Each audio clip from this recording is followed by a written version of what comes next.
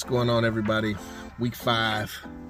Um, about to go in and start building out the studio production side of things, a whole post production suite space, um, which is going to be our most difficult build.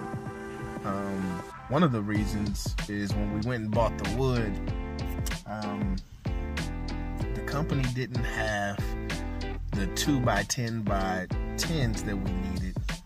Um, and they weren't sure when they were going to get some extra in, but they did have it in 2 by 10 by 20, which means we have to cut all 105 pieces in half, so we have 210 uh, 2 by 10 by 10s. Um, so that's going to be a task. And then the intricacy of the build out is going to be interesting too because we have to build these rooms where they don't touch each other. Um, only thing, only connection point they will share will be the floor. All right, what up, everybody? We got started before I hit record. So over here behind me, you see a bunch of boxes. What that is is mass-loaded vinyl. It's a rubber-like material that helps dampen sound and you know reflect sound back into a room and keep it in a room best as possible.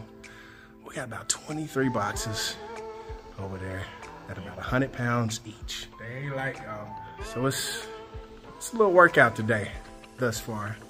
Um, we were able to do is you know nail uh, the wood to the concrete in several places all over the building. So now that it's extremely secure and fastened down, when I get back to work. Over there, building out the sound booth. Sound booth number one. And then we're gonna build out the rest of the studio over here in this space, studios. All right. So, standing here, we built the first room in this area, which is uh, the recording booth to the music studio side of things.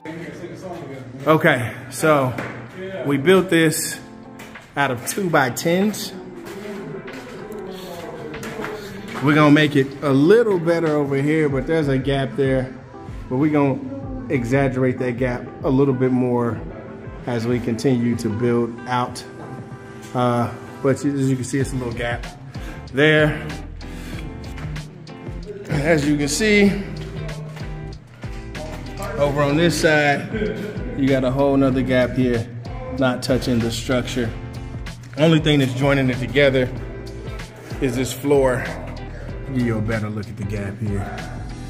So this structure is standalone except for the floor. As you see, our lines on the floor showing where the other gaps will be.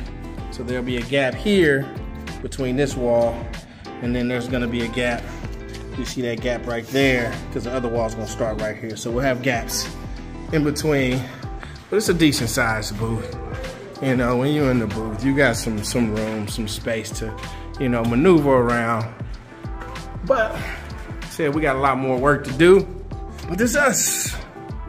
And we signing out day two, week five at Building Notis Studios. We out.